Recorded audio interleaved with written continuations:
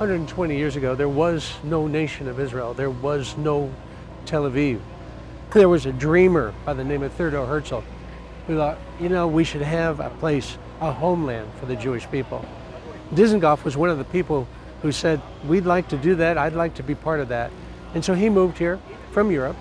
And when he came here, there was nothing, just sand dunes, that literally only sand dunes in that place. They had a kind of a lottery and they divided up land which had been purchased at great uh, cost. And they took that land which had been purchased, divided up into plots of land, and Dizengoff got this plot that's right next to us right now.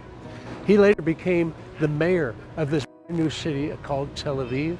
And eventually his house became one of the centers of the town. As the mayor in the town, he set up a home, but he had places for people to visit. And he came to this place, and you know what?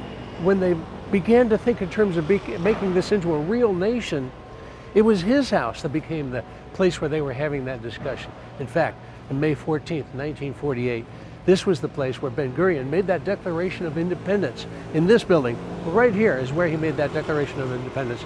In one single day, they went from a dream to the reality of a nation. Can a nation be born in a single day? Yes, it happened right here.